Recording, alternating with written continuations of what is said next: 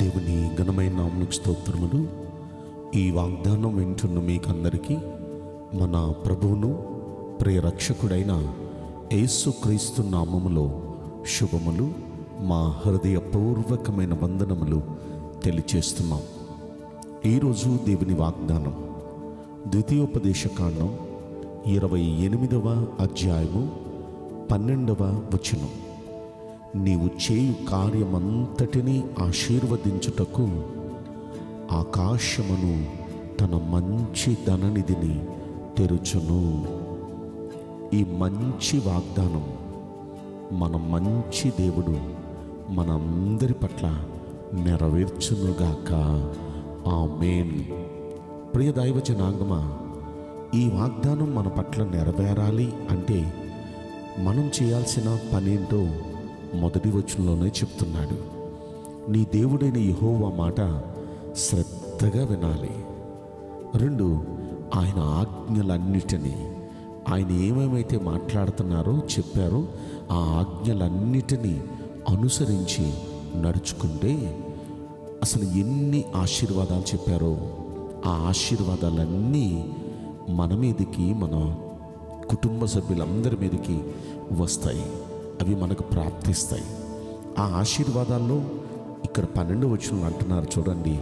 నీవు చేయు కార్యమంతటినీ ఆశీర్వదించుటకు ఆయన ఆకాశమని మంచి ధననిధిని తెరుస్తాడంట. ఎంత అద్భుతమైన వాగ్దానం.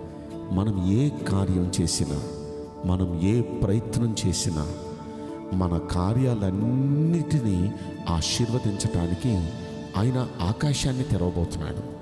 ఆకాశం అనే మంచి ధననిధిని ఆయన ధననిధిని తెరవబోతున్నారు. ఎంత అద్భుతంగా ఉంటుంది. నిజంగా దేవుడు ఈ వాగ్దానమే కాదు ఆయన వాక్యాన్ని మనం అనుసరించి ఆయన వాక్య సారంగా మనం జీవిస్తే ఎన్ని ఆశీర్వాదాలు మీకు గుర్తు చేస్తాను.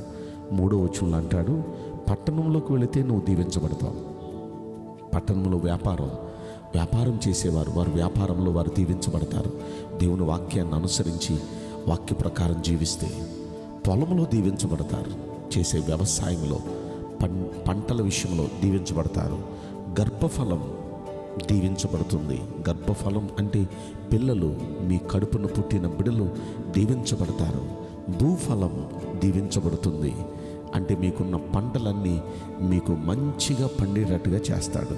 మీ పశువుల మందలు మీ దుక్కెటెద్దులు మీ గొర్రెమేకల మందలు దీవించబడతాయి. అంటే పశు సంపద.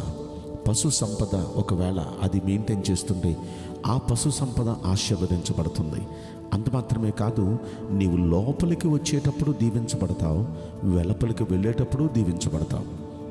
ఇంటి లోపలికి వచ్చేటప్పుడు ఇంటిలో ఆనందం భార్య వలన పిల్లల వలన ఏ విధమైన దుర్వార్త వినకుండా ఇంటిలోకి రాగానే మంచి వార్తలు మంచి వార్తలు వింటారు. బయటికి వెళ్ళినప్పుడు బయటికి వెళ్ళేటప్పుడు చాలామంది భార్యను లేకపోతే పిల్లలను ఎదురు రమ్మంటారు. ఎందుకంటే వారు వెళ్ళే ప్రయత్నంలో వారికి సఫలం జరగాలి వారికి మేలు కలగాలని. అయితే బయటికి వెళ్ళినప్పుడు దీవించబడతాం బయటికి వెళ్ళినప్పుడు దేవుడే ఎదురొస్తారు నీకు. దేవుని వాక్య ప్రకారం జీవిస్తే ఆయనే ఎదురొస్తారు. కనుక ఆయన మీకు ఎదురైతే ఖచ్చితంగా మీరు ఎక్కడికి వెళ్ళినా అది ఏ పనైనా ఏ ప్రయత్నమైనా అది ఆశీర్వాదకరంగా దీవెనకరంగా ఉంటుంది. ఇంటిలోకి వస్తే ఇంట్లో మంచి వార్తలు మంచి ఆనందం భార్య వలన పిల్లల వలన మంచి వార్తలు వింటూ ఉంటారు. అంత మాత్రమే కాదు ఇంకా అంటాడు ఎనిమిదో వచనంలో నీ కొట్లలో నీవు చేయి ప్రయత్నములన్నిటిలో నీకు దీవెన కలుగునట్లు దేవుడు ఆజ్ఞాపిస్తాడు. అంటే మన కొట్లు బిజినెస్ల విషయంలో మనం చేసే ప్రయత్నాలన్నిటి విషయంలో అది బిజినెస్సే కానివ్వండి లేకపోతే కొన్ని కొన్ని వృత్తి పనులు ఉంటాయి. వృత్తి పనులే కానివ్వండి లేకపోతే రకరకాల రకరకాల కార్యక్రమాలు. మరి మీరు ఏ కార్యక్రమం చేసి చేసినా సరే మీరు చేసే ఆ కార్యక్రమాలన్నిటిలో మీరు చేసే వ్యాపారాలన్నిటిలో మీరు చేసే ఉద్యోగాల్లో మీరు చదివే చదువులలో మరి అది ఏ ప్రయత్నమైనా ఆ ప్రయత్నాలన్నిటిలో మీకు దీవెన కలుగునట్లు యహోవ ఆజ్ఞాపిస్తాడంట. అది మాత్రమే కాదు ఇక్కడ ఈ ఇప్పుడు మనం విన్న ఈ వాగ్దానం అంటున్నాడు నీవు చే కార్యమంతటిని ఆశీర్వదించటానికి ఆకాశం అనే మంచి ధననిధిని తెరుస్తాడని. అంత మాత్రమే కాదు ఆయన అంటున్నాడు నీవు అప్పిచ్చేవానిగా ఉంటావే కానీ అప్పు తీసుకునేవానిగా ఉండవు అని. ఇలాగ ఎన్నో ఆశీర్వాదాలు. నువ్వు పైవానిగా ఉంటావు కానీ నువ్వు క్రిందవానిగా ఉండవు. క్రిందవానిగా ఉండవు. నువ్వు తలగా ఉంటావు కానీ తోకగా ఉండవు. ఎన్ని దీవెనలన్నీ బాబు. ఈ అధ్యాయంలో పద్నాలుగవ వచ్చిన వరకు ఉన్న దీవెనలన్నీ మన మీదకి వస్తాయి. ఈ దీవెనలన్నీ మన మీదకి రావాలంటే మనం ఒక్క పని చేస్తే చాలు. శ్రద్ధ శ్రద్ధగా దేవుని మాటలు వినాలి. ఆ మాటల్ని మనం అనుసరించి నడవాలి. ఈనాడు సమాజంలో అనేక మంది దేవుని వాక్యాన్ని శ్రద్ధగానే వింటున్నారు. కొంతమంది వినడంలో ఉన్నారు. దేవుని వాక్యాన్ని అంటే ఇష్టం ఉండదు కొంతమందికి. కాసేపు వినాలి అంటే దేవుని మాటలు మరి కొంచెం ఇబ్బందిగా ఫీల్ అవుతూ ఉంటారు. బోరుగా ఫీల్ అవుతూ ఉంటారు. దేవుని వాక్యాన్ని వినటానికి మనకి బోర్గా ఫీల్ అయితే మనకు అది ఇబ్బందిగా ఫీల్ అయితే మనం కష్టం వచ్చినప్పుడు మన ప్రార్థన వినటానికి ఆయన కూడా బోరుగా ఫీల్ అవుతారు.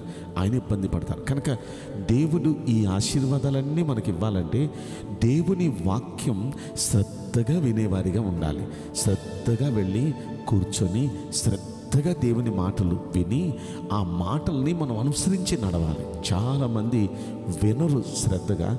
విన్నా సరే వాటిని అనుసరించరు. అందుకే క్రైస్తవులు అని చెప్పుకుంటూ గుడికి వెళుతున్నాం అని చెప్పుకుంటూ ఈ ఆశీర్వాదాలు గృహాల్లో జీవితాల్లో లేకుండా గడుపుతున్నారు.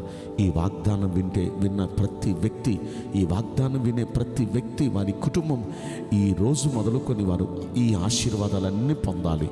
పొందాలంటే ఎక్కడి నుండైనా సరే శ్రద్ధగా గుడికి వెళ్ళి శ్రద్ధ శ్రద్ధగా దేవుని వాక్యాన్ని కూర్చొని విని విన్న వాక్యాన్ని గుర్తుపెట్టుకొని ఆ వాక్యాలన్నిటినీ అనుసరించి నడిస్తే తప్పక ఈ ఆశీర్వాదాలన్నీ కుటుంబాల మీదకి జీవితాల మీదకి వస్తుంది. విశ్వాసంతో అడుగుతున్నాను ఈ వాగ్దానం వింటున్న ప్రతి ఒక్క కుటుంబం ప్రతి ఒక్క వ్యక్తి శ్రద్ధగా దేవుని మాటలు విని ఆ ప్రకారం జీవించి ఈ ఆశీర్వాదాలన్నీ పొందాల్సిందిగా మనస్ఫూర్తిగా నేను దేవుణ్ణి కోరుకుంటూ మీ నిమిత్తమై ప్రార్థన చేస్తాను. నాతో కూడా ఏకీవిస్తారో పరిశుద్ధుడా ప్రేమగల యేసురాజా మీ పరిశుద్ధ బంగారు పవిత్రమైన నామునకు నిండు మనసుతో కోట్ల కొలదిగా స్థుతులు స్తోత్రములు వందనాలు చెల్లిస్తున్నాం. ఈ రోజును మీరు మాకిచ్చిన ఈ వాగ్దానాలన్నీ మా పట్ల నెరవేరాలంటే మేము నీ సన్నిధికి శ్రద్ధగా వచ్చి శ్రద్ధగా మీ మాటలు విని ఆ మాటల్ని మేము అనుసరించి నడుచుకుంటే ఈ రోజున ఏమేమైతే మీరు వాగ్దానం ద్వారా పలికించారో ఆ ఆశీర్వాదాలన్నీ వీరిపైన కృమ్మరిస్తానన్నారు. కనుక వారు ఆ ప్రకారం చేసి తప్పక నీ ఆశీర్వాదాన్ని పొందినట్లు ఈ వాగ్దానాన్ని వింటు వింటున్న ప్రతి వ్యక్తిని ఆ విధంగా మీరు అలాంటి మనస్సునిచ్చి ఆ విధంగా మీరు ఆశీర్వదించమని నీ బిడల తరపున ప్రాధేయపడి మిమ్మల్ని అడుగుతున్నాను. దయచేసి వాగ్దానం వింటున్న ప్రతి కుటుంబాన్ని జీవితాన్ని ఆశీర్వదించమని ఈ కొద్ది మనవులు నజరైన యేసుక్రీస్తు ప్రశస్తమైన నామంలో మిక్కిలి వినయముతో ప్రార్థించి బ్రతిమలాడి వేడుకుంటున్నాం.